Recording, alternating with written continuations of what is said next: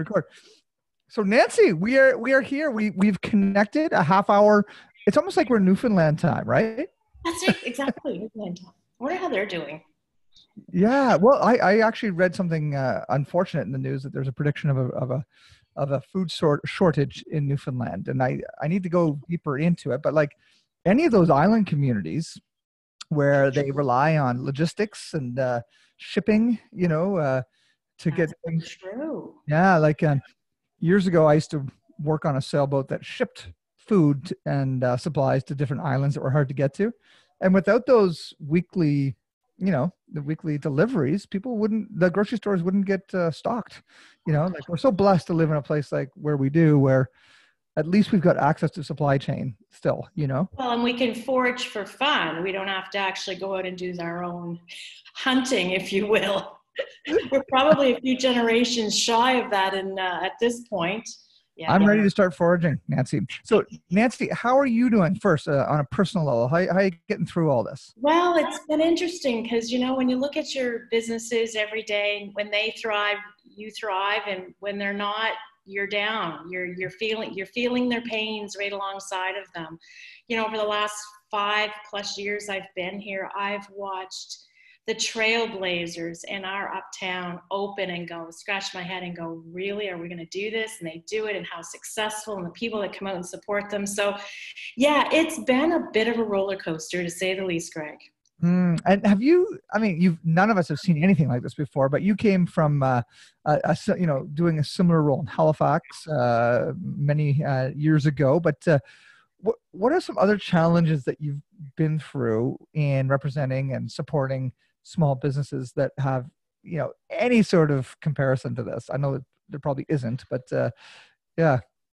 Yeah i really i really don't think i can recall through i mean you know, you go back to 2006, I started with the Halifax Regional Municipality when they put a file on my desk and said, here's the bid file. And I went, bid. So what are we bidding on? And it was for business improvement districts and did for, for uh, and, and, you know, was in a support role as a liaison, as a bureaucrat to, to the small business community and, you know, writing policies and things like that to going over to Spring Garden Road where I said, you know, I'd never do that job. Those people are absolutely crazy. And then I did it it, and I guess I proved I'm crazy.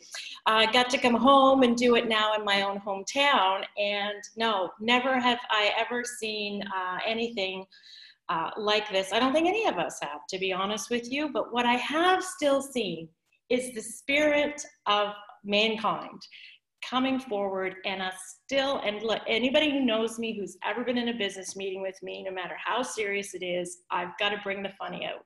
I've got to bring out the humor in it because it keeps us real. Because we are right we're small we're we're all cogs in the wheel but let's keep it real. And uh, wow we're i think i just woke up from the dream maybe i wake up from it and i go back to sleep and i go i wake up and i is it over yet yeah yeah yeah totally. And uh, you know there is something to be said about respectfully using humor. Like humor is so critical you know and sometimes i find my humor might, might, might be close to the line of uh, maybe inappropriate. Like for example that amazing cooler that is continuously stocked with corona beer that i have out on my um, on my front deck right now. And you know, the big joke is the only case of Corona on my street is on my front deck in the cooler. Um, but uh, you know, you, you, gotta you gotta you gotta keep it light as much as you can, and uh, and at the same time, really understand what people are going through. And uh, you know, there's so many people that are negatively impacted by this. Uh, uh, you know, just think about all the vulnerable people that live in our city and uh, who are, even in the best of times, incredibly vulnerable. Um, and then I, I think about all of these small business owners uptown that you represent that you know some uh, are probably not going to get through this. Um, others have found innovative ways to do it just depending on what their what their business is you know like uh, it's a strange time where certain types of businesses are just going to have it harder than other others you know and it's not going to come back online you know, we're part of a larger group as business improvement associations. They started in 1976 on Yonge and Bloor. And, you know, as you know, it's private money. So the property owners um, have decided at one point in time to host a have a plebiscite and say yes we'd like to have an association that would represent us and our legislation shows that we have to do advocacy beautification clean and safe streets marketing and promotion and urban design and all of a sudden you look at all those pillars and you go which which one are we? What are we today? And i'm really following the businesses and and listening. So we have a larger body the international downtown association of canada that are our heavyweights that are writing the letters to our pm to say listen these are the real issues right now uh, just got off a call. Peter Stoddard was on it. He was talking about its rent. How are we paying our rent? We have all this overhead. Um, we're seeing the takeout still working, but they have 100% overhead, only bringing in 30% of their revenue. How can we sustain that? And you know, we're loyal. We're loyal to our our um, small businesses. I see a lot of people rising up and, and proudly saying how they have shopped online if they can, or how they've gone to takeout. But you're right, the the reality is we keep going in months and months it's not sustainable and there will be business lost in our uptown um, the projection is from a lot of the uptown, uptowns and downtowns we're unique we're an uptown a lot of the downtowns in Canada are talking 30% of our small business will be lost during this event. And it takes a long time to get that back. Oh my gosh. Well, just think about the momentum. I mean, I was going through our uh, video archives and uh, going all the way back to 2002 and uh, some ridiculous videos that we made uh, with Enterprise Saint John at the time and, and others and we were just we are touting the same message you know like look at the assets we have. Um, and at the time we we did have a lot of really cool things but nothing compared to what what it is well five weeks ago you know um, and uh, it's just been neat to see what in the last 15 16 years what has happened in the uptown and just incredible uh, revitalization. And um, i wonder if if we hit a tipping point though where we just started to see a lot of people buying uptown, and I'm, I'm noticing a lot of uh, a lot of folks who their kids are out of out of the out of the house now, and uh, you know uh, there's a generation of people who are who are buying uptown now, and now that there's more people that have decided to renovate their buildings and and move themselves mm. uptown, mm. they expect to have you know thriving restaurants and thriving bars and retail and whatnot I, am just being hopeful here. I, I just wonder if there's if if there's enough of a movement there to uh, to really help this thing rebound once we get out of it. I'm I'm in that same hope box that you are. That uh, with the 15% from the 2000, uh, I think it was six census, another one's coming out. With the 15% densification growth in the uptown, you're right. So you're seeing, I call them young hipsters and then we have the baby boomers. And I mean, I absolutely love living uptown. I literally am two blocks away from work. Um, so I actually head down to the office every once in a while to have that feeling again that I'm working. Um, and you're right, you're seeing the disposable income. But what's interesting about this, Greg, is that you see those two groups together out it's yeah. interesting when you go to Picaroons, which I call the boardroom across the street from our office, is they're all together. So you know we're we are we have a great t- togetherness. I just saw a baby in the back. see a baby. Oh, so she After she gets changed, I'll, I'll, I'll pop her in so you can see her. How sweet is that? Yes. And then people are having babies in the midst of this. But you're right. I think that. Um, that may actually ignite some people to say, you know what, there's a lot of changes, a lot of perspective going on in our individual lives about could have, would have, should have. Mm-hmm. And maybe because we don't have this control, well, we know we don't have this control over it, the world as it is today, that we might start to go, you know what, I'm going to do that. I'm going to buy that. I'm going to go here or I'm going to do this. And I'm going to not. I'm not going to overanalyze it anymore. We've been wanting to move uptown, so let's get uptown. And it's uptown's not for everyone. Let's just face it. I mean, obviously, there's certain times in your life that you want to be near the rinks and you want to be near the soccer fields for your children. But for those who can come up, and of course we love those with the disposable income that want to eat out. I mean, our restaurants, um, people from Fredericton, people from Moncton, Sussex, Sorrento. I mean, they drive in for our, they drive in for our, you know, talking to Peter today, and it's like he's so tired of getting stuff out of his freezer to eat. He's like, I just want to go out and eat, right? Yeah, yeah. Um, Yeah, yeah. I, I was gonna say how how how refreshing because back when we were making those earlier videos, way way back, um, Saint John really suffered the whole. Oh, this that's a stinky town. There's nothing going on there. People from our other uh, cities in the province would just say, "What? Why do you want to live in Saint John? Why would you go there?"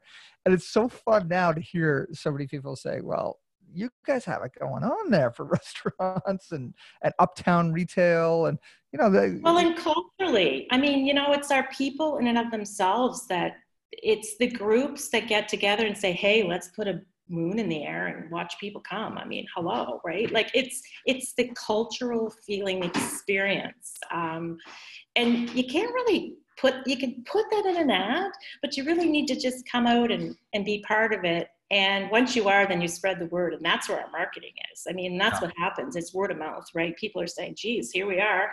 Uh, we just experienced." And it was there. There were some vendors, and uh, oh yeah, and there was a moon. Oh, and there's a baby. Oh my! Oh, she's smiling, Greg. Baby will always uh, interrupt happily.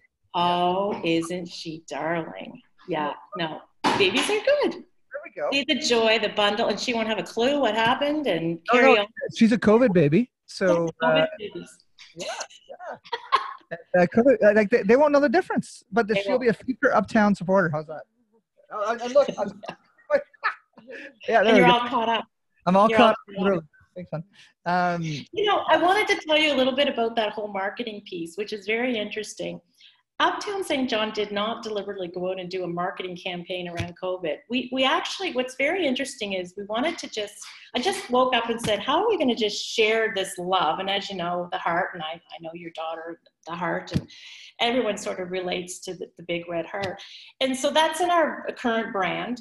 And I said, well, let's make it more inclusive and let's just say, you know, I heart my Saint John and let's just post it up and put it up King Street. And again, normally you're supposed to get permission, but I try to do the whole let's ask for forgiveness piece. So we put it up there.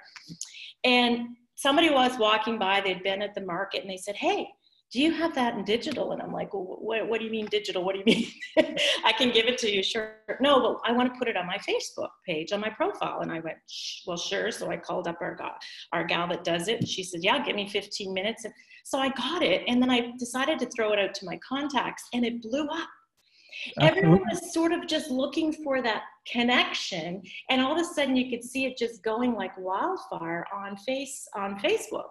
And so since then we've sort of just played off of it. So nothing and deliberate. It was just, and that's the part I love about our town. That's the brilliance of it. It's like there's not too much thought. It was more of a feeling, right? It was like this is a good idea. I should I should push this out, and everybody jumped on that. You know, that, that's that's that's the way it should be, Nancy it's a lot of fun. Um, I visited the restaurants and said, well, hey, let's take this one step further and make a label. And when you're sending that out, and we just added one little tagline to say, hey, we're thankful that you're supporting local. So we threw that on there. I passed those around. I went through 5,000 on Thursday. I'm getting calls today. We need more. So again, it's probably more about it's it, again you don't think about doing a, a huge marketing strategy in the midst of this other than you know you're trying to to create continue to support local, which I know a lot of us do. But um, I think the other piece is, is it's just happening organically and that's when it will work and that's when it will stick and there's no there's nobody pushing behind another agenda it's just people rising up and that's that's what's warming my heart and it's got me a little bit little bit more positive today plus the sun is shining today so oh, yeah. it's kind of hard to not be positive when it's a day like this i already went with the with Kaya for a, a 10 and a half kilometer bike ride today. Uh, wow. Nice out, you know, and you know what? It was, this is not necessarily a good thing, but it was good for biking with the kid.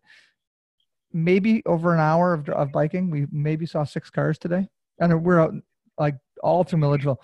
So it's, it's weird. Um, but at the same time, it's, it's kind of the safest time to, to get out there and, and, and, you know, safely and stay away from people all that sort of thing. Um, so Nancy, to cha- change the gears, um, I've done a lot of these daily conversations with people that are in my orbit, and um, I don't know how long I'll do them. Probably this week uh, will be it. Maybe I'm not too sure, but I've been trying to share videos on these streams, but the way that Zoom works and Facebook streams, it's just really choppy. Um, so it's not that great. But what we'll do is uh, I want to show. Let's show that. Uh, well, we can show both the videos if you want. Yeah, uh, absolutely. Yeah. Do it right now, and if it looks choppy, people, we will uh, be posting them underneath here anyway, like the actual videos. So, um, Nancy, what do you want to say about the videos that we're going to hopefully share here in a sec? Uh, you know, our restaurant and retail sector, uh, and, and, there's many of our sectors that we represent, but these are the these are the people that are actually keeping uh, the joy in our lives, if you will. so we we I reached out to Hemmings House uh, because you're in the BIA, business in the BIA, so support you folks, and and to really let people know that you know we're still we're still operating the best that we can, and I love that the businesses when we put this out the response back was, hey, we haven't gone anywhere. We didn't lock up our office and went home. They are like, okay, they're still listening. Yeah. A hundred percent. Okay. So let's, um, which, which one do you want to see first? Retail or food? Oh my goodness. Let's, uh, let's do the retail first. Okay. Here we go. And let's see if this, do you see this full screen? Yeah, it's great. Here we go.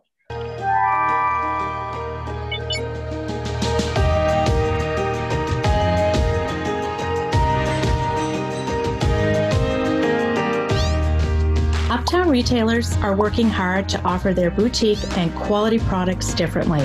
During this challenging time, you can continue to buy local. Visit uptownsj.com to find out what businesses are still offering goods in a safe way. We're all in this together. And what a voice! What a voice. I, I just love I, I I love how it came together you guys were so quick. I was like, what do you uh-huh. mean you've got your first draft done? I was like, and I know you're working hard. You've got other clients out there that you're they're tapping into you guys right now. I was so working hard or hardly working, Nancy. One or the other. Yeah, well, I know it's a really weird thing, right? I mean, sometimes you're working at seven, which normally I wouldn't be, but anyway. Yeah. So the the next one, um, let's see here, is the one that features and celebrates our our restaurant chefy people.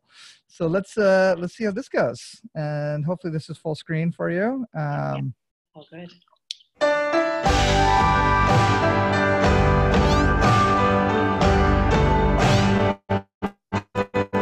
From chefs to baristas, our friends are hard at work, offering delivery and takeout.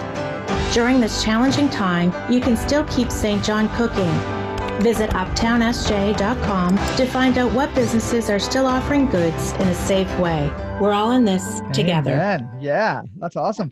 And yeah. here, here's like technically what I what I was excited about these videos is uh, you voiced it into your. I, am guessing you've got an iPhone or do you have an iPhone or an Android? Oh, I have an Android. Yeah, I voiced okay. it. so you voiced it into your smartphone. Yeah. Uh, this microphone here, this is an $800 microphone. You don't need that. I'm just saying that because it's like, yeah, we we buy all this fancy equipment at Hemmings House, uh, and then we just proved to ourselves, that we don't need any of this stuff. So uh, we got you to voice it from home, so you didn't have to come into our studio. We are able to get images from Instagram and submitted, and uh, uh, for us as Hemmings House is innovating, this is what we're trying to figure out. How do we keep telling stories without sending camera crews in right now? You know, and and it's infinitely possible prime prime example and and i must say rather quickly i mean there wasn't any changes it came by it came out and i was like yeah i love it no it's great we love clients like you, Nancy. and I'm usually pretty picky. Like I'm like, okay, but what about this or what about that? I didn't really have a vision. I just said, I'm just going to leave it to the professionals and they're going to tell me what to do. And I love the fact that the team actually contacted, they went out and, and reached into, uh, knocked on all the doors and called everybody and they were pretty excited. So yeah. uh, well, a little bit that helps, right? Yeah, and you helped us by uh, including us in that project. Thank you so much. And uh, for everybody watching, uh, especially the Saint Johners, uh, please go visit that um, that website. And Nancy, just not to embarrass me, what is the, the website again? It's the uh, oh, uptownsj.com. Uptownsj.com. Oh, okay. I thought it was. Uh, did I get that right? Did I even say it's at stjohn.com? I'm going by website and I'm going by. Figured it out. Uh, Google us. We're at the top. We have optimized our website. nice, and we will uh, we'll definitely be posting these both these videos uh, on yeah, our channels as well. And, uh, good. Well, thank you for all that you do, Nancy. You're awesome. Thank you um, we're looking forward to getting back to normal and drinking a pint at uh, Picaroons with you. at your board boardroom across the street. At my boardroom. Yeah, great. Thank you, Greg, and and to the team at Hemmings House. We appreciate all your work and and your support, and we love that you're uptown. Thank you, Nancy. Us too. Talk to you later. Bye. now. Bye. Bye. Bye. Bye.